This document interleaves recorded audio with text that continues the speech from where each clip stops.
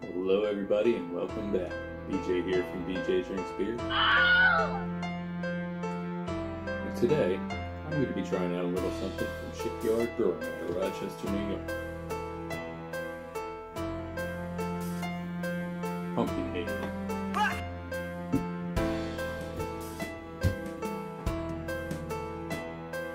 Pumpkinhead is a 4.5% ale.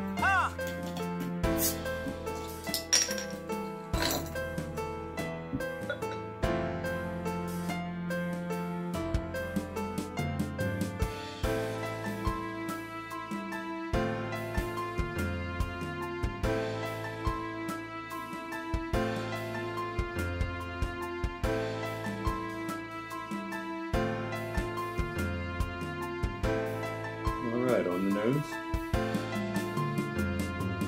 Pumpkin spice. See how it tastes.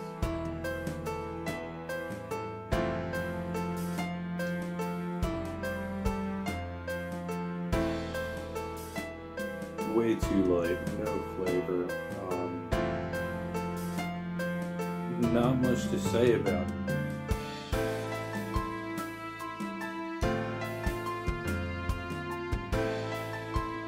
Yeah, this is very, very watered down, very weak, and not very good at all. I'm gonna have to give it a Do it. two out of five.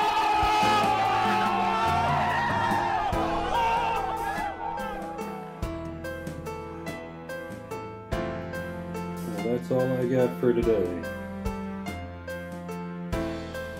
Till next time. Cheers.